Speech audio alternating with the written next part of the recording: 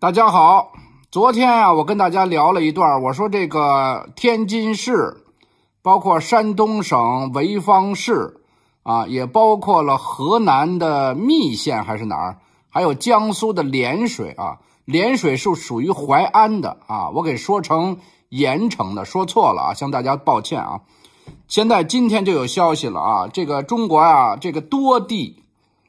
很多很多地方啊，可不止我刚才说的地儿，很多地方的公交公司都赔钱，甚至某些地方，我前一段看到，就公交车已经停运了，他贴出来通知，在公交车的那个车站，在那站牌子上说，因为我们赔钱了啊，我们没有补贴了，我们资不抵债啊，等等等等，所以抱歉，我们只能停止运营。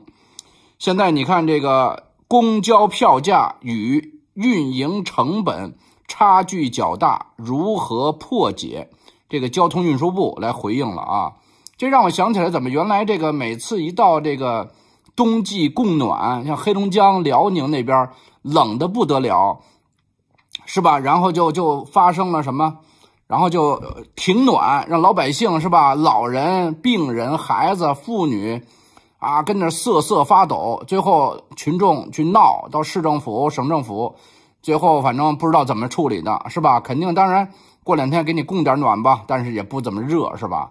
啊，包括什么这个天然气的涨价，那会儿还要什么假冒三道的要举行什么价格听证会，都找来一些托儿什么自来水的涨价，是吧？各种的公共服务的涨价，对吧？你既然是垄断。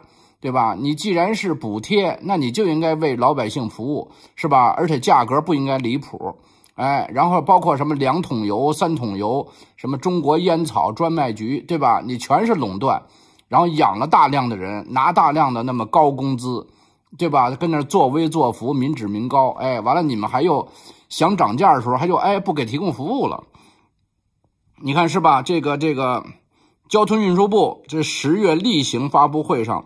交通运输部的，呃，运输服务司的副司长高博表示啊，交通运输部就在建国门内，就在那个它的西边就是全国妇联，它的后边是北京市政协，它的东北方向是这个国家旅游局和这个北京国际饭店啊。这个交通运输部是我客户，国家旅游局也是我客户，是吧？这个北京啊，这个一一半左右的机关，好，原来曾经都是我客户。交通运输部是那个谁，那个拿着美国护照冒充中国运动员的谷爱凌，他姥姥交通运输部的，他姥爷是那个建设部的啊，建设部也是我客户，就养了大量的机关干部，是吧？都是拿着高工资，这帮人岁数还挺大，活的是吧？每年医疗费对吧？可是农村的中国人是吧？城市底层的中国人，那个医疗啊，包括你的退休养老。那个待遇是很差的，甚至是没有的，对吧？说目前各地城市公交运营确实存在一些困难，推进城市公交健康可持续发展需要标本兼治、综合施策啊，综合政策的出台啊，施加政策，既要加强对公交企业的政策支持，也要提升公交企业自身的可持续发展能力。可持续发展能力就是让它赚钱。赚钱怎么赚，对吧？就是羊毛出在羊身上，哎，他不从内部，对吧？你们养了这么多官儿，包括党委，什么党支部书记，对不对啊？什么党支部书记，这个党官儿在全世界绝大部分国家是没有这些系统的，是没有的，对吧？政党你可以有多党制，而不是一党制。党的官儿，对吧？什么叫党官儿？台湾叫党工。你看现在国民党才养几个党工？他那大楼，那个巴德大楼吧，中央党部大楼都出租出去给一些公司了，很小很小的范围了，哪像这儿养这么多的什么党党的专职干部、政工干部，哪儿有？全世界除了巴勒斯坦哈马斯啊、缅甸果敢、掸邦、佤邦是吧？这些都是随中国大陆的，是吧？俄罗斯都没有军队里边，俄罗斯军队都没有什么。政委、指导员、教导员都没有了，可能只有中国、北朝鲜，对吧？养了这是大量的这个这个负担呀，让老百姓来承担呀，对吧？这非常不公平。然后说在输血方面啊，要给输血，要落实运营补贴补偿政策，合理确定城市公交服务标准，平等对待不同所有制运营主体啊，就是有的公交有些线路什么的，它不是国营的了啊。因地制宜建立并实施成本核算和补贴补偿制度，这都是一些套话、废话、空话、假话、假大空。二是完善公交价格机制啊，这价格这钱。这是真的，真金白银是吧？科学合理的制定城市公交价格，并建立动态调整啊。涨了价了，可能过一段又不行了，哎，又赔钱了，还得涨，是吧？基本上就这个公共服务，在中国，不管是公交车呀，这个天然气呀、煤气呀，包括自来水啊，包括电力呀，包括网络通讯呀，哪有说涨上去再降下来的道理？从来没有过吧，对吧？包括汽油，对不对？包括民航，涨上去，对吧？涨蹭蹭蹭就涨了，很容易降，那可就就像得病，有句话什么“病来如山倒，病去如抽丝”，是不是这道理？哎，它给你涨上去，你再让它降下来，嘿，比登天还难，对吧？比杀了他爹妈要他祖宗的命还难。针对长期低票价难以覆盖企业运行的情况啊，什么依法依规开展，说一堆屁话，这个就是要涨价啊，用涨价转移危机，转移他的财政亏损，对吧？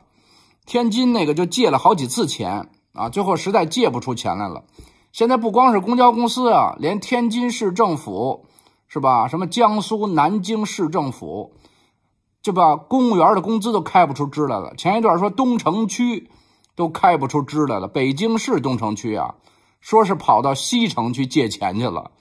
前一段说是这个顺义开不出支来了，找挨着他的朝阳借钱去了，是吧？然后大兴区政府，我说的都是区政府开不出支了，找东城啊，是吧？因为他们是对口的。你比如说那个西城。原来西城那如果那个那个哎对不对？西城有一部分疏散，就是那个那个那个那个危旧房改造，他们是到了一部分到昌平，东城有一部分到了顺义啊，然后还有一部分到了大兴，反正他们各区政府也是关系，哎，你这个区跟我关系近，关系好，哎，我到你这儿张这嘴巴是吧？不容易被驳回来，多多少少你给我个面儿是吧？前两天天津市。是河北区啊，还是和平区啊？河东啊，还是南开呀？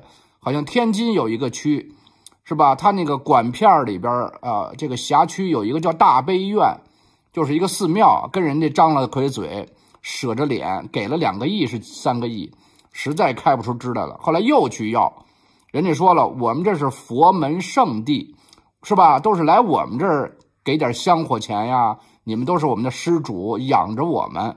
我们是和尚，虽然现在好多也花和尚，和尚也跟尼姑乱搞，是吧？也跟这个 女施主，当然是吧？这也不新鲜。但是哈，说没有这道理，给你一回了还要，你还没两天，他给拒绝了吧？然后当地我忘了哪个区，天津不知道是河北、河东、和平还是南开还是哪个区，啪，反正你在我地盘上，你这庙你是搬不走的，对不对？所以整改。你就乱收费，不规范，等等等等，就这马上政府就给你一个，是吧？用我的话叫眼珠不动。什么叫眼珠不动啊？就拿眼睛瞪着你，大眼睛跟铜铃似的，大牛眼瞪着你，就是给你个下马威，收拾收拾你，赶紧给我拿钱，对吧？哎，没没像过去的时候，直接拿王八盒子顶着你脑袋盖子，是吧？给不给？不给就崩了你。对吧？过去那红军，对吧？在那苏区，对吧？给那些地主给你们家贴一告示啊，红军需要军饷啊，你赶紧捐，你不捐要你命，对吧？我做的节目，广东一老太太原来是红军的一个游击队，所谓的抗日游击队，是吧？估计属于新四军，从他们家要走了现大洋，什么五千多块，还有粮食啊，还说利滚利，他不是就是骗人的吗？就跟现在的 P to P 传销差不多，啊，利滚利到现在都值好几千亿了，是吧？我还做了这么一个节目，谁给你一分钱也不给你，没把你们家人全宰了，就算对得起你了。所以在中国是吧？你是你惹得起人家吗？哎呀。